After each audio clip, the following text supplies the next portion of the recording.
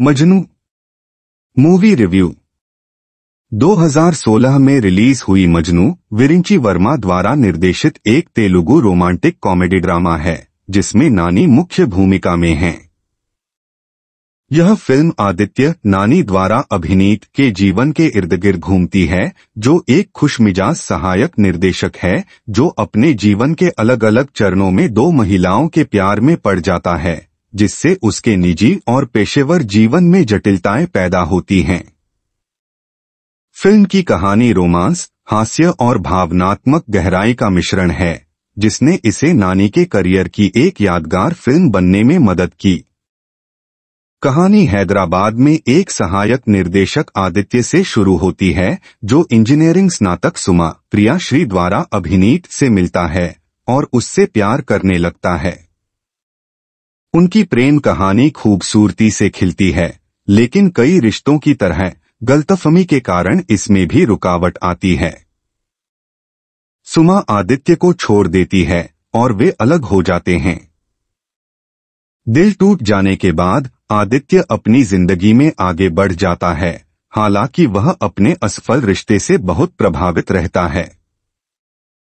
आदित्य की ज़िंदगी में तब मोड़ आता है, जब उसकी मुलाकात किरण अनु इमैनुएल द्वारा अभिनीत से होती है, जो एक सहकर्मी की बहन है, और वे धीरे धीरे एक दूसरे के लिए भावनाएँ विकसित करते हैं। हालाँकि, जब किरण को आदित्य के सुमा के साथ अतीत के बारे में पता चलता है तो वह उनके रिश्ते को लेकर झिझकती है। दूसरी ओर, आदित्य खुद को सुमा के लिए अपने पिछले प्यार और किरण के साथ अपने नए रिश्ते के बीच फंसा हुआ पाता है। कहानी तब और भी दिलचस्प हो जाती है, जब आदित्य की भावनात्मक यात्रा में दोनों महिलाओं के लिए अपनी भावनाओं को समेटने की कोशिश करते हुए आगे बढ़ती है। कहानी को गति देने वाला तत्व आत्मचिंतन और विकास का तत्व है। क्योंकि आदित्य अपने जीवन के विकल्पों को समझने की कोशिश करता है। फ़िल्म एक तरफा प्यार, दूसरे मौके और रिश्तों की जटिलताओं के विषय को तलाशती है, जबकि यह सब एक हल्के फुल्के अंदाज में किया गया है। नानी, जिन्हें अक्सर तेलुगु सिनेमा के एक नेचुरल स्टार के रूप में जाना जाता है, अपने सहज आकर्षण और दर्शकों से जुड़ने की क्षमता के साथ मजनू में चमकते हैं। आदित्य का उनका चित्रण सूक्ष्म है, जो चरित्र में हास्य और भावनात्मक भार दोनों लाता है। नानी के पास प्रामाणिकता के साथ लड़के ने भूमिकाओं को चित्रित करने का हुनर है, और मजनू में वह कॉमेडी और भावना के सही संतुलन के साथ संघर्षरत प्रेमी की भूमिका निभाते हैं। नानी की कॉमेडी टाइमिंग फ़िल्म के मुख्य आकर्षण में से एक है। वह उन दृश्यों में हास्य डालने में सक्षम है, जो अन्यथा भावनात्मक रूप से भारी होते। रोमांस और कॉमेडी का एक अनूठा मिश्रण बनाते हैं, जो फ़िल्म के स्वर को परिभाषित करता है।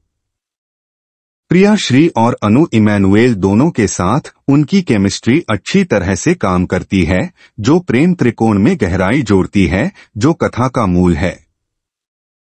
पूरी फ़िल्म में नानी का चरित्र लापरवाह और हल्के फुल्के से गहरे आत्मनिरीक्षण और परिपक्व में बदल जाता है।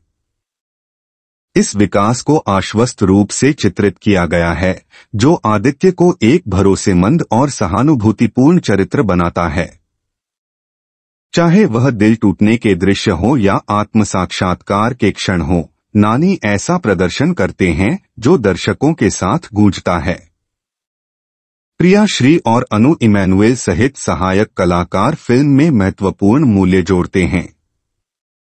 सुमा के रूप में प्रिया श्री अपनी भूमिका में मासूमियत और भेद्यता की भावना लाती हैं, जो फ़िल्म के पहले भाग में नानी के चरित्र को पूरी तरह से पूरक बनाती है।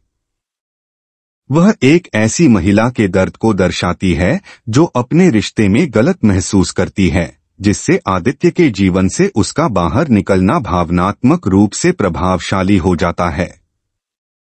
किरण की भूमिका निभाने वाली अनु इमैनुएल सुमा के विपरीत हैं। वह आत्मविश्वासी, स्वतंत्र है और आदित्य के जीवन के नए अध्याय का प्रतिनिधित्व करती है। किरण के रूप में अनु का चित्रण अधिक जमीनी है और वह नानी के साथ शानदार ऑन स्क्रीन केमिस्ट्री साझा करती है।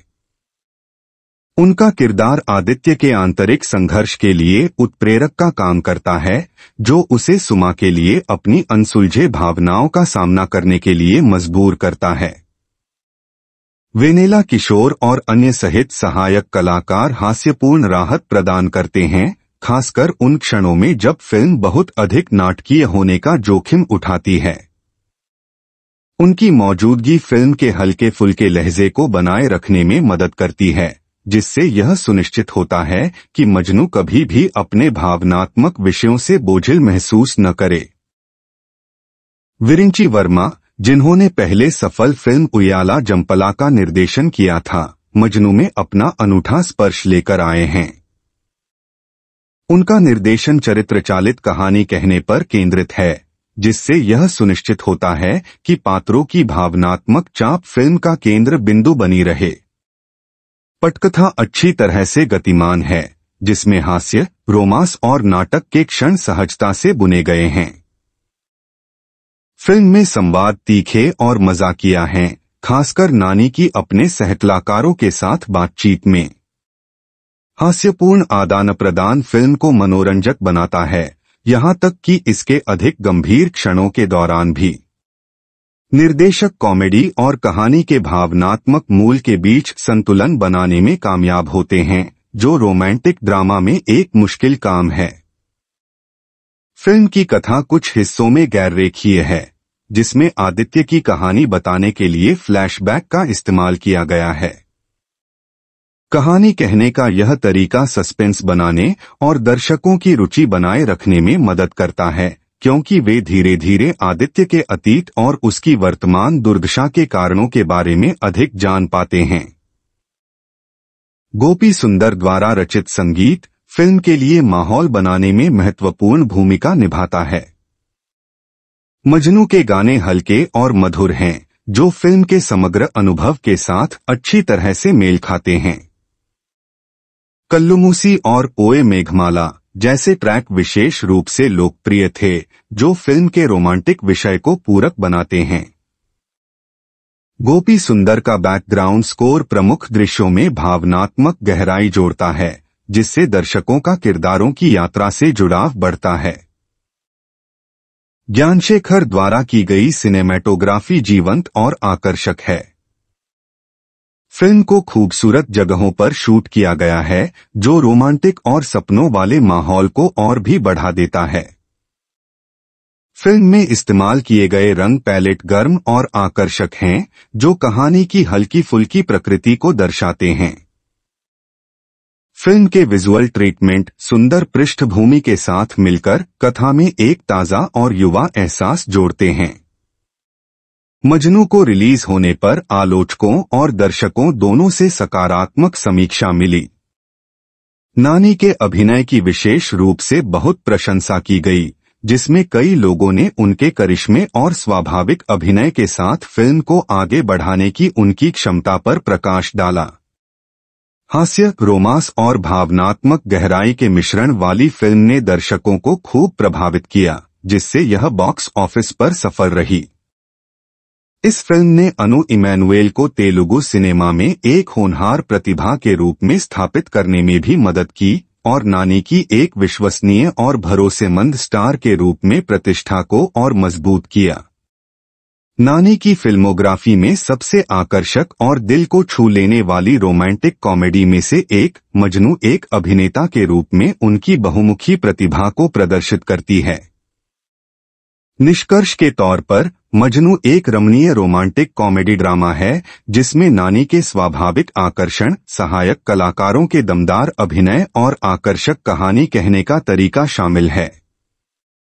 अपने भरोसेमंद किरदारों, मजाकिया संवादों और भावनात्मक गहराई के साथ, यह फ़िल्म प्यार और रिश्तों की जटिलताओं को तलाशते हुए मनोरंजन करने में कामयाब होती है।